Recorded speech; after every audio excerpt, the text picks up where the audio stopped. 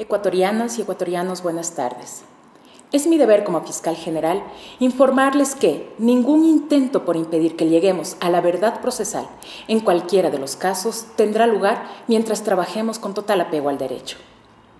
Respecto al caso que ha sido denominado como independencia judicial, otra de las investigaciones abiertas en contra de varios miembros del Consejo de la Judicatura, que inició el 11 de mayo del 2023 por el presunto delito de obstrucción a la justicia, hemos solicitado a la Corte Nacional de Justicia fecha y hora para la audiencia en la que se formularán cargos a los siguientes ciudadanos.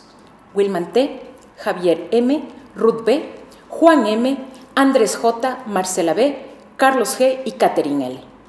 Esto debido a que hemos encontrado los suficientes elementos de convicción para que sean procesados por su presunta participación en el delito de obstrucción a la justicia, que se habría cometido en dos casos de connotación.